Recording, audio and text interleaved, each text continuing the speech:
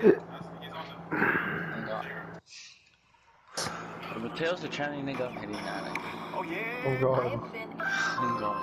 Oh my god. Oh Cruz or oh, Josiah, Kyrie Irving. Uh.